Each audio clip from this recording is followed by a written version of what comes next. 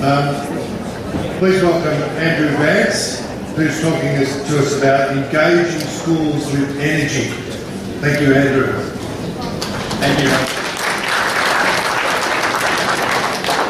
Thank you very much for having me here today. My name is Andrew Vance. I'm the Sustainability Coordinator at Melbourne Girls College.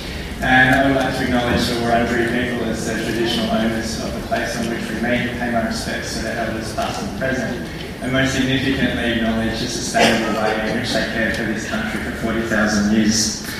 Um, I'd also like to begin by acknowledging the context in, in which we meet. Um, as Will said this morning, we're living in a knowledge era where the average student with a smartphone has more processing power than the Apollo mission that managed to land a man on the moon. We understand the drivers of climate change, but critically we also know the, the way that we can limit it.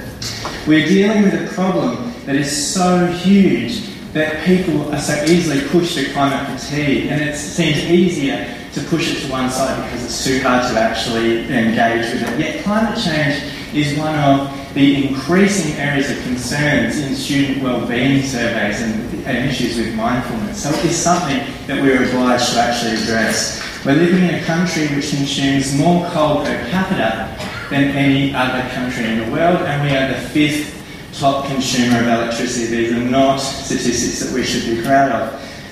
Yet, as educators, or and as educators, we are mandated by FISO and other frameworks to build global citizens of our students, to encourage teacher leadership and to engage students in their, leading, in their learning. Hence, my ed talk today is engaging students with energy. Now, I'm a biologist, so not a physicist, so there's been a steep learning curve in learning about all of the electronics of this technology that I'm going to talk to you about today, but I am by far no means an English teacher, so looking at this title, I'm thinking, should be a capital E or a lowercase e? Are we engaging students with energy? Are we engaging students with energy? Um, so, I work at Melbourne Girls College, and, and today my mission um, is to fit as many energy puns into 10 minutes as possible. Um, but I recognise that I'm talking to a powerful group, and I want to encourage you to reflect on not only your own power use, but the power that you have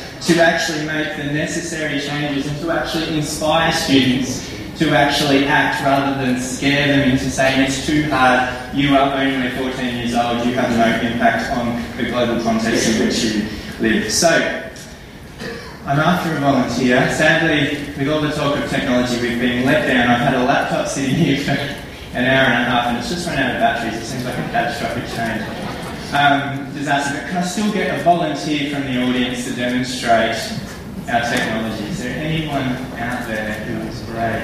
Oh. Yes. And I've got Nathan, I've got Noel as well. So, Noel, can you come because Nathan's going to run out of run out of power. Here's another power point for you um, into this talk. Now, I, have talked to, to Caleb and Potsy over there. Apparently, these projectors are 1.5 kilowatts, 1,500 watts. Uh, this presentation is going to absolutely only run for 10 minutes, I believe. Um, so we could do a calculation work out how many watt hours this will actually be. So unfortunately, Nathan, we can't show, because of the laptop catastrophic failure there, how much power you're producing. But if you start generating, what's actually happening here is that there is a motor that our students have actually built onto the side of this device here.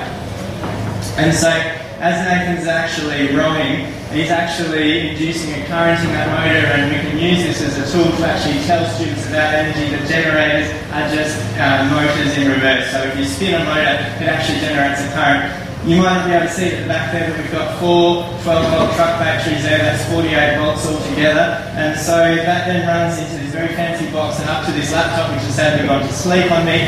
Um, and that would be measuring how much Nathan is actually producing there. So, come on, by the end of 10 minutes, the laptop might actually be working. Um,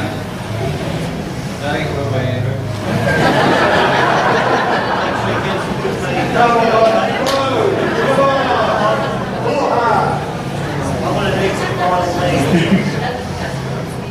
okay. But if you flick over for the moment, oh my goodness, it just worked. So what you, what you can see on this screen here is ergo number one. Nathan, can you put you back into it, please? you can see a little dial. I've just met Nathan. Um, it's moving up. That's showing how much power Nathan is actually generating now, and in the little tacho that should be flicking around, if this is my growers, that would be flicking around like anything. Um, you can actually see how much energy he's producing. So here's a very clear le- le- teaching tool to show the difference between power and energy, right? So the more power he invests, the faster the energy will actually accumulate. And when you're ready, if you're feeling a little bit tired, then, then Noel can jump. I mean, anybody throughout this talk can please come up and, and have a go. Obviously, we've got the capacity here to run four ergos. So my challenge now is when I actually asked Judy to do this, if she has uh, legitimately got a good reason not to uh, be rowing. Um, but we have the tools in our schools to actually measure devices that are relevant to students. And when we turn this on, you might be able to see a little power meter there that shows exactly how much power that is. I I'm jumping ahead in my presentation now, but um, there was a fantastic campaign. If I was to ask you to save water, do you think you'd be able to do it? If I was to ask you to think of a good amount of water that you might like to use in one day. Do you think you have an idea? Would you turn to the person next to you and without saying anything, show them how much one litre of water is?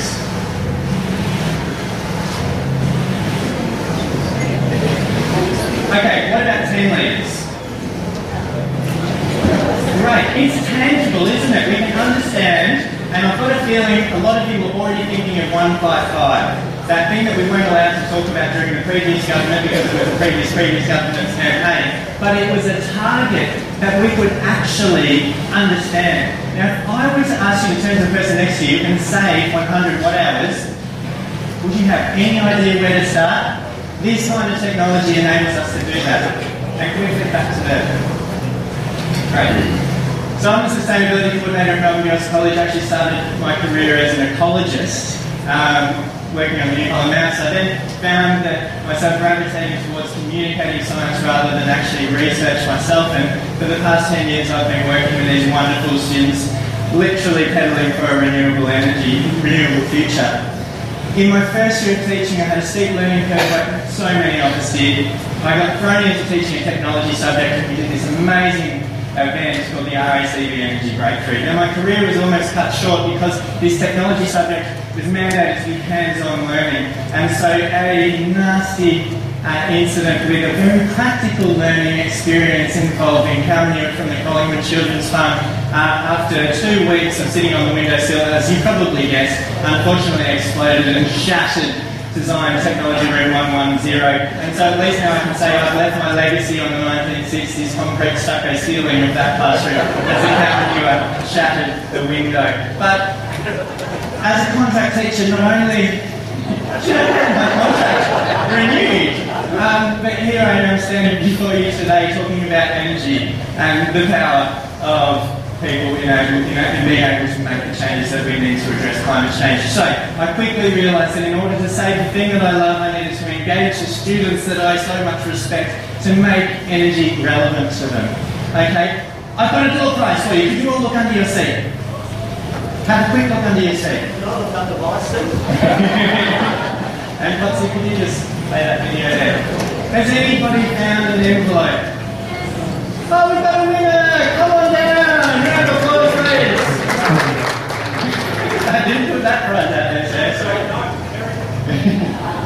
Congratulations. This can provide endless possibilities. It can create light and jobs, delivering $6 billion in wages for Australians. It produces steel and powers our homes, as well as our economy, injecting $40 billion each year, and we can now reduce its emissions by up to 40%. It's called isn't it amazing what this little black rock can Okay, if do? anybody wants to come over and take over from No- Chris, you're here. What did you, what did you find in like your prize? Okay, a piece coal. Yeah, and what colour is that coal? Black green. Black coal, oh yeah, same by our geology teacher. Sorry about that. Um, has anybody seen that campaign before? Um, it's... Okay. This, people sometimes ask me, they say, Andrew, you know, you've reached the pinnacle, you've got a kit cut with your school's logo on it. What keeps you going? and I say to them, this is what keeps them going. Right? We are up against, in terms of winning the battle, right? We are up against a powerful lobby group who has got a lot of funds behind them to um, keep coal burning this country. And so thank you, Chris, for that, for delivering that back. You don't have to hang on to that. Round of applause for Chris. And, Uh, in 2015, the Minerals Council of Australia actually came up with that campaign. Coal is amazing. Had a hashtag. Fortunately, it got the, it was out trended. Um, in Victoria, do we get our energy from black coal? No. Unfortunately, brown coal, which is the younger cousin of black coal, hasn't been compressed so well. So when you burn it, it actually reduces far more emissions than actually black coal does. That poster is an amazing poster produced by Clima, um, and we're fortunate enough to curate an exhibition of it at our school at the moment. Um, so, if you had to guess, how much of our electricity comes from burning brown coal? The answer is B, sadly, and you can actually go on look live, and this was taken, I took this screenshot last year, 81% of Victoria's coal, uh, electricity came from burning brown coal, right? Where do we fit into this picture? Well, this, the, the, Department of Education spent $33 million on electricity last year, right? It's a huge amount, and as the leaders of these schools, you might throw your hands up and say, well, it's too hard to control this. How do we actually limit the amount of electricity we do? But if we look at the schools that are enrolled in the, in the SWEP program, the School Water and Electricity Energy Efficiency program, the top performing school consumed only 5% of the worst performing school. There are serious things that we can actually do at a school level to inspire the people who are going to be affected by climate change far more than us to act, and we have to act by leadership. I've got a tagline at our school because we now have STEAM written on the side of our big building. Melbourne Girls College is STEAM powered, but not by coal. Thank you very much.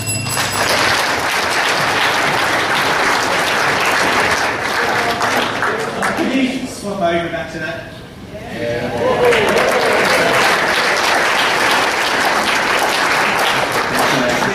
Um, so just, if we look at one of these projectors, which uses 1,500 watts, uh, that talk just took 250 watt hours to actually project, let alone run those two laptops. So this tool Indeed, it's not there to replace coal, right, but it's to show us, to give us an insight into how much electricity our daily lives actually use, and hopefully gives our students a relevant way to connect to energy conservation. Thank you very much.